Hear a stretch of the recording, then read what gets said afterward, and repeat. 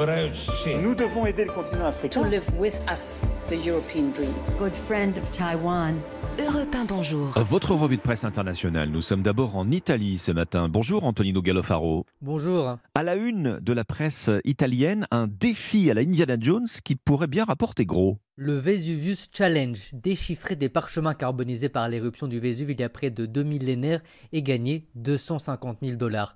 Condition, précise le journal local Il Mattino, il faut utiliser l'intelligence artificielle pour encourager les experts de cette à lire des centaines de documents. Le challenge lancé par des professeurs de l'université américaine du Kentucky est un défi entre scientifiques, précise le magazine Focus, pour qui le grand gagnant sera en réalité l'humanité entière. Ces parchemins antiques d'Herculanum, une cité antique au pied du volcan garde de nombreux secrets. Des scientifiques italiens en ont déjà révélé un. Il Corriere della Sera évoque un scoop millénaire.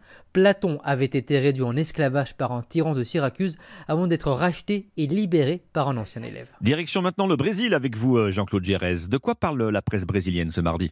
Du premier versement de la nouvelle bourse famille qui va permettre à plus de 20 millions de familles de recevoir une allocation minimale de 110 euros par mois. Le site Géon indique que cette mesure phare du président Lula est destinée aux familles les plus pauvres ayant moins de 40 euros par personne et par mois pour vivre. L'allocation, précise le journal à Tardi, sera augmentée en fonction du nombre et de l'âge des enfants et même attribuée aux femmes enceintes. Mais comme le souligne la Folia di San Paolo, les conditions d'accès à ce programme seront plus rigoureuses. Outre le plafond des revenus, la scolarisation des enfants et la vaccination seront obligatoires, ainsi que des examens prénataux pour les futures mamans. Tout, souligne le journal Valor, pour un coût annuel de 30 milliards d'euros pour l'État brésilien. Nous sommes enfin en Inde avec vous comme Bastin. Un nom ce matin à la une de la presse indienne. Amritpal Singh, c'est le nom que tous les médias répètent depuis qu'a commencé sa traque par le gouvernement indien ce week-end.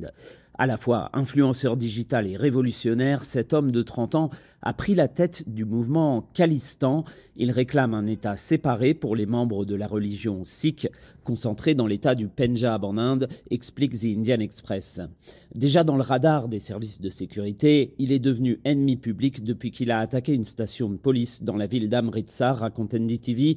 Il est suspecté d'avoir amassé des armes pour monter une armée et de liens avec le Pakistan. Le mouvement indépendantiste du Khalistan bénéficie de la sympathie de certains fidèles sikhs à travers le Commonwealth. The Hindu rapporte ainsi que le consulat indien à San Francisco a été attaqué en soutien aux fugitifs. Merci comme Bastin, merci à nos correspondants. 6h54, bon réveil, vous êtes sur